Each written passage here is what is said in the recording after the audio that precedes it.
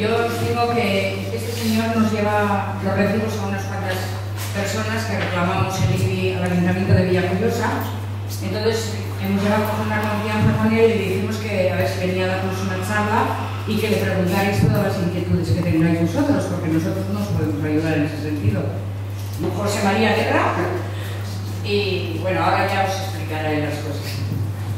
Eh, buenas tardes, mi nombre es José María con final, buenas tardes, se olvida, bueno, Eh, y estoy aquí eh, porque me pidió Carmen Arredondo que viniese a reunirme con ustedes a explicaros un poco cuál había sido la situación y todo el camino que ha seguido eh, la impugnación de los valores catastrales de, de Villagrosa. Nosotros impugnamos en el año 2005 una serie de valores catastrales eh, tras el camino que, que se sigue con todo este tipo de cosas, después de acudir al Tribunal, Administrativo Regional y al Tribunal Superior de Justicia, obtuvimos una sentencia favorable en la que se anulaban los valores catastrales de Villajoyosa y además en dos de estas sentencias, eran tres, en dos de estas sentencias se anulaba también la ponencia de valores de Villajoyosa del año 2005, la famosa ponencia de valores catastrales.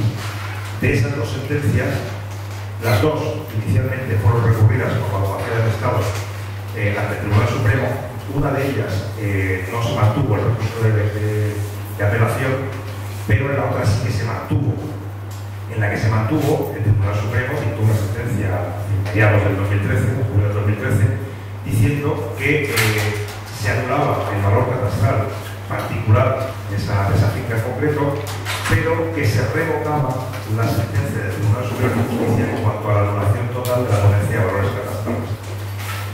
Con esos dos pronunciamientos, primeros pronunciamientos, se inició un procedimiento eh, de reclamación pidiendo la revisión del valor catastral ajustado a las sentencias del Tribunal Superior de Justicia, las que habían anulado, eh, las que habían anulado el, el, el valor catastral, la ponencia de, de, de. La sentencia del Tribunal Supremo sale por en medio. Esos procedimientos son los que se referían antes a Carmen Arredondo en los que iniciamos la reclamación solicitando que se mantuviese la ponencia anterior, una vez que la ponencia del 2005 había sido anulada por el Tribunal Superior de Justicia y además una de las sentencias de las que les comentaba ya había dicho que la ponencia era nula, lo que se solicitaba era la revisión del valor catastral que se estaba aplicando a cada uno de los particulares y en base a ese pronunciamiento jurisdiccional que se revocase o que se anulase el valor catastral por el que se estaba aplicando el dinero. Cuando llega la ponencia de la sentencia del Tribunal Supremo, que después, si en el caso, pues haré otro comentario al respecto, que es una sentencia que si tienen la paciencia de leerlo, verán que al final hace dos piruetas, hace dos vueltas, dos saltos mortales y al final acaba diciendo lo que nadie había dicho.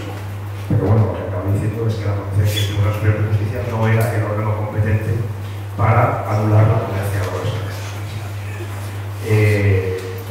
lo que ha hecho Catastro, o que ha hecho el Tribunal Económico Administrativo con las reclamaciones que teníamos interpuestas, ha sido decirle a Catastro que se tiene que pronunciar a la vista de las resoluciones judiciales. Con lo cual, las reclamaciones que se iniciaron en aquel momento y que hicimos, no sé, no recuerdo si fueron 80 o ahí, que estuvieron interponiendo, esas reclamaciones están llegando ahora a todas las resoluciones. Aquí hay algunas que traído por si estaban los, interesados facilitársela, pero que son todas exactamente iguales y lo que están diciendo es que cada persona tiene que pronunciarse y decir cuál es la sentencia que hay que aplicar. Tenemos dos sentencias firmes.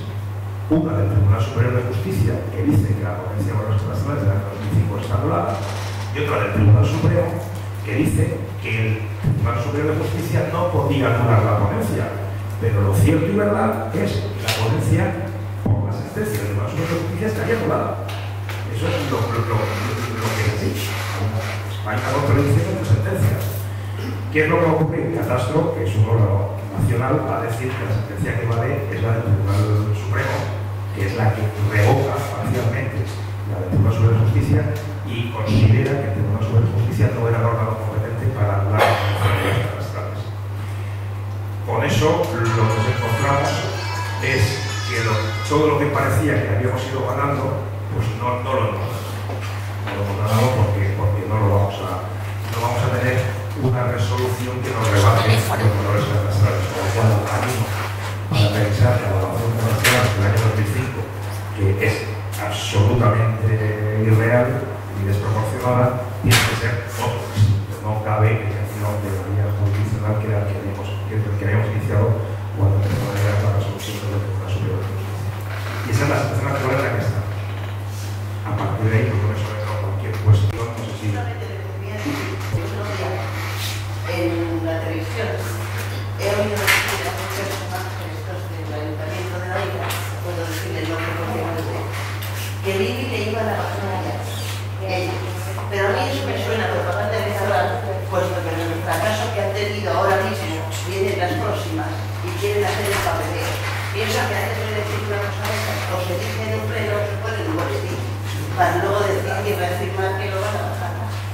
Porque creo que de palabras no se puede y menos que la televisión.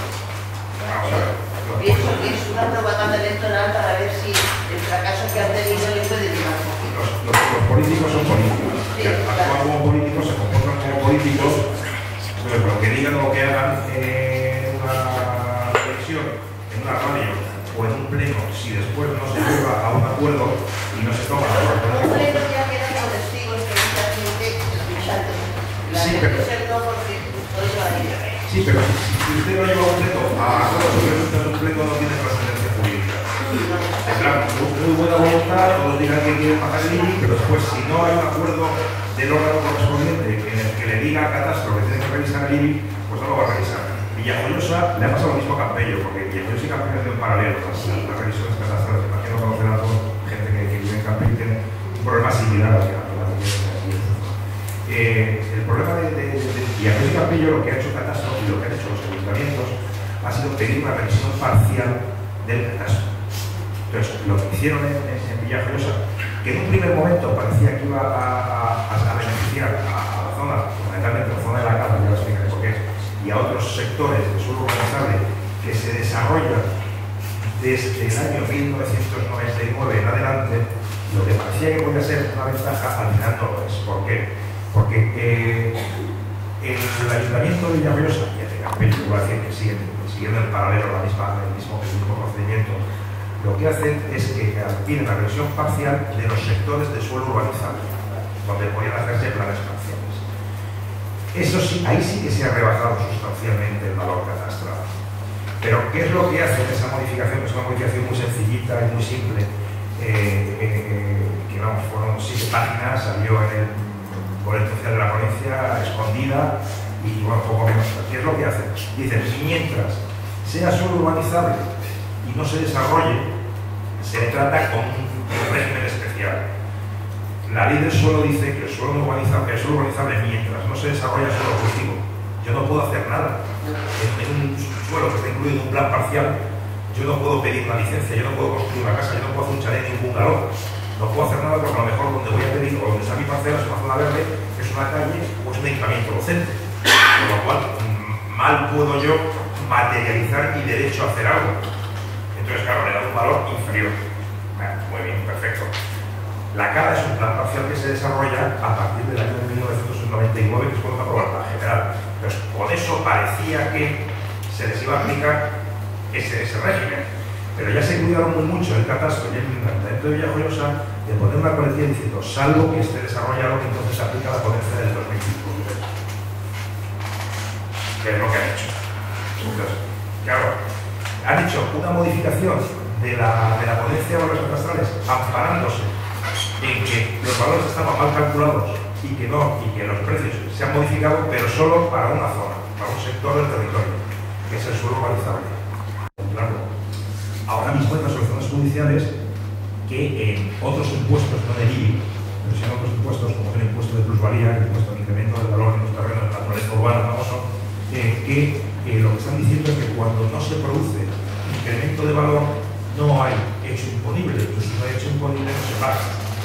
Es un problema de prueba. Es un problema, estrictamente un problema de prueba, pero ya hay tribunales, el Tribunal eh, Superior de Justicia de Cataluña y el Tribunal Superior de Justicia de la Comunidad Valenciana, ya están dictando resoluciones que cuando se ha ido con una prueba policial acreditando que el valor de adquisición y el valor de venta de un bien, venta de transmisión, sea por sucesiones, o sea por, por donación o cualquier cuestión, cuando esos valores no son, eh, el valor de análisis posterior no es eh, superior que el valor del primero, y en esos casos no se produce incremento de valor. Pero son, están siendo pronunciamientos jurisprudenciales en una línea que se está, que se está ahora desarrollando. Se están impugnando valores catastrales notificados ahora con la versión esta que se ha hecho de Villacuyosa, la parcial que le digo, se están impugnando y ya veremos qué es lo que dice el Tribunal Superior de Justicia. El Tribunal Superior de Justicia, la Comunidad Valenciana, cuando le llegó la sentencia al Supremo del 2013, hizo un, entre comillas, quiebro jurídico en el que decía que anulaba el valor catastral porque no había estudio de mercado, pero no anulaba la ponencia. Claro, entonces, de alguna manera dio cobertura al particular que había impugnado el valor catastral y que llevaba desde el año 2005 con un recurso de reposición, con un recurso ante el Tribunal Económico Administrativo Regional que está en Alicante, que tarda normalmente un año, como mínimo, en resolver. Más todo el procedimiento con el proceso administrativo quedan dos o tres años más, entonces ahora le da cobertura a esa persona que lleva cuatro, cinco, seis años pleiteando y dice, bien, su valor catastral no es correcto. Y como, ¿por qué no es correcto? Porque está mal calculado. ¿Por qué está mal calculado? Porque no había estudio de mercado. Entonces, ese valor está, le falta motivación. Le falta motivación, lo anulo. Pero anulo ese valor particular. No anulo la potencia que era lo que venían haciendo. Eso ha sido un vaivén jurisprudencial. Había resoluciones de todos los tribunales superiores de justicia que estaban anulando las ponencias. No solamente de la comunidad valenciana. El Superior de de Madrid anuló ponencias porque no ha habido estudio de mercado, el de Castilla-La Mancha pasa lo mismo, lo que pasa es que en un momento determinado cambia de De acuerdo. El plan general. El plan general y el, y el PP1 de Javier Satalaye se aprueba exactamente en abril de 1999. Se modifica exactamente cuando gana el Partido Popular, exactamente lo modifica en octubre del 2000. Pero hay dos, dos concejales que interponen un recurso. Ese recurso, la operación declara en el Tribunal Superior de de la Valenciana nulo de pleno derecho a ese les dice claramente que vuelvan año 1999. Entonces, ¿volvemos a 1999 para nuestros valores catastrales? Es una pregunta. Y segunda pregunta, nosotros cuando llegamos aquí, el 90% de la gente nos empadronamos, bueno, compramos los pisos en el año 2005 cuando los valores catastrales ya estaban.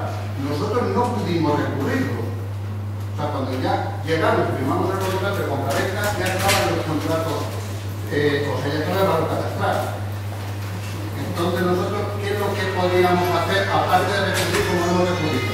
Hay una sentencia que exactamente la 1346 para 2006, aquí hay una persona que lo sabe muy bien, porque fue concejal y lo llevó él, no fue el que interpuso eso, ganaron y está pendiente, pendiente, pendiente, pendiente, hasta una sentencia del Tribunal Superior de Justicia en el año 2003, en el cual lo vuelven para acá y no se puede Pero naturalmente a nosotros nos están aceptando el año, el plan parcial que mejora el del 2000, cuando realmente el plan, de, el plan parcial es de 1999.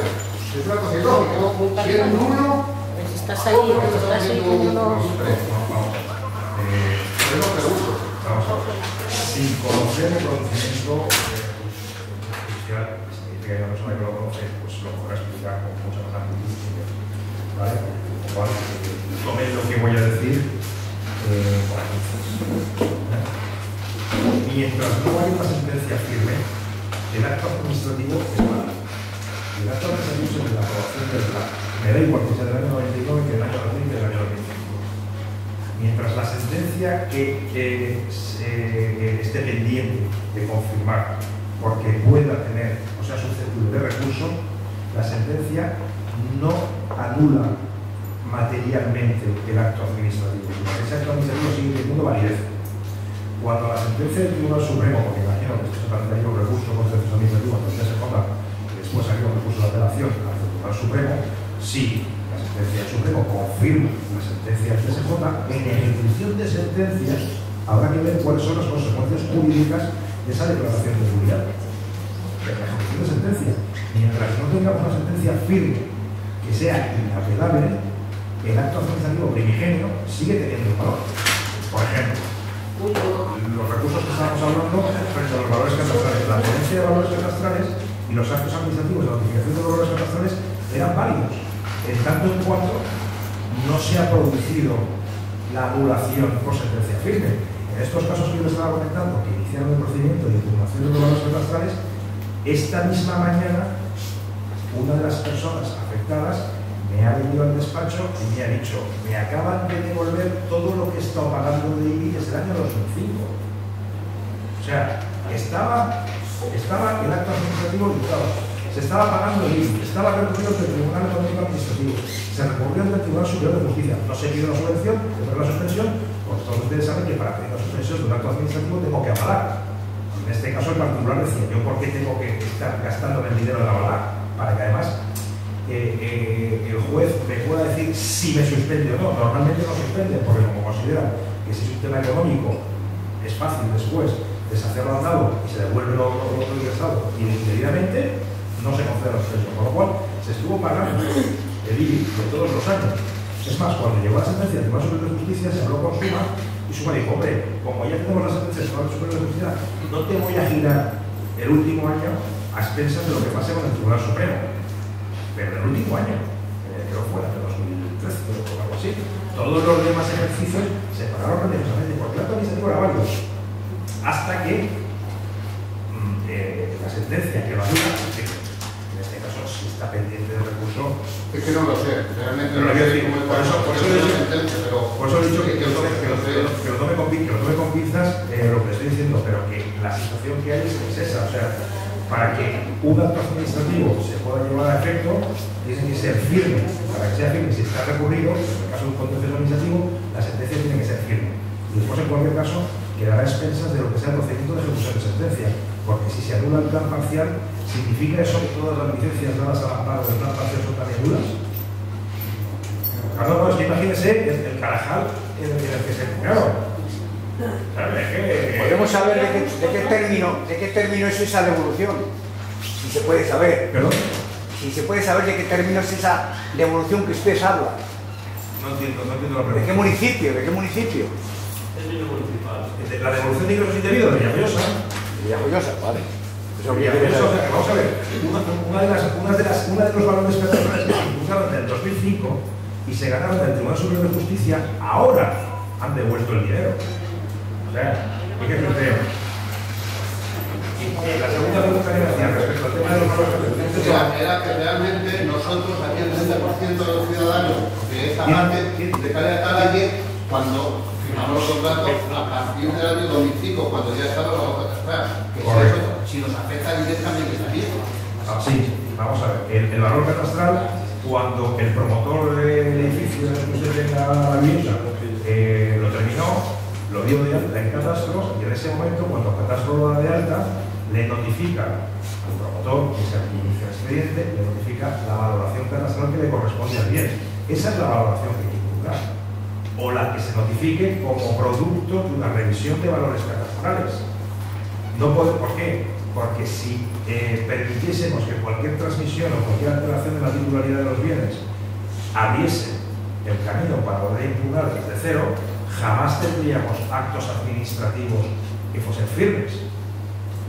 Tiene- O sea, la seguridad jurídica eh, es un principio y un valor que hay que preservar. El Tribunal Superior ha dictado sentencia y el Supremo ha dicho que no tenía potestad para dictar esa sentencia.